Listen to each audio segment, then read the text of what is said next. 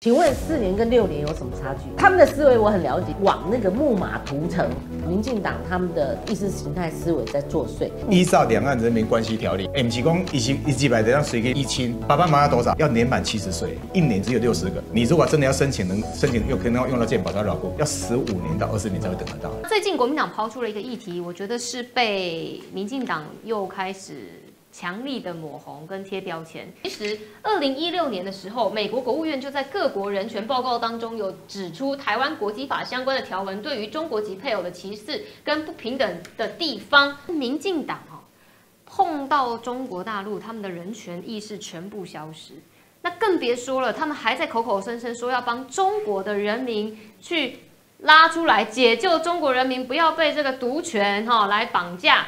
结果，民进党在台湾。却歧视中国人民的人权，却弄了一个完全忽视他们。为什么？因为他开始讲这个呢，会不会有第一个国安疑虑？哈，会不会有拖垮健保的事情？我们说为什么绿营会这么猛烈的反对？那你看未来像基基党一定会发生。嗯，好，那你看黄杰是指标人物，意识形态化。好，那你们现在要跟我们解释，请问四年跟六年有什么差距？对呀你要怎么划界限？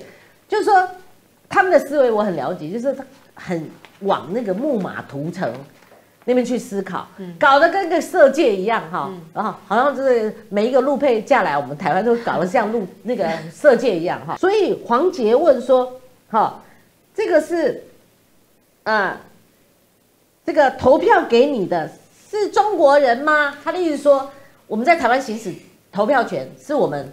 拿拥有中华民国身份的这些国民在投票，但是我也要反反反击啦，算反击啦哈。黄杰，那我请问，娶他们的男人女人不是台湾人吗？对呀，不是我们中华民国国籍，拿我们中华国民，我们中华民国国民吗？嗯，好，所以我我就说这个这个部分哦，觉得还是呃，民进党他们的那个意识形态思维在作祟。依照《两岸人民关系条例》。哎，不是讲一是一几百的让谁去移亲？从我我是直接陆配给来台湾，对不对？那我已经经过这六年，现在可能缩短为四年。好，OK，那我取得这取得定居之后，取得这个时候，不是我的爸爸妈妈马上就可以就可以那个爸爸妈妈多少？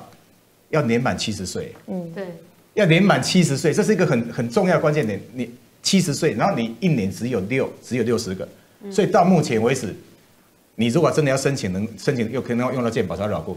要十五年到二十年才会等得到嘞。对，所以我们之前在立法的时候不是没有没有限制的，我们这个规定是非常严格的。就平这样把它完完全的扩大，他连七十岁也不跟你讲，六十个人也不跟你讲。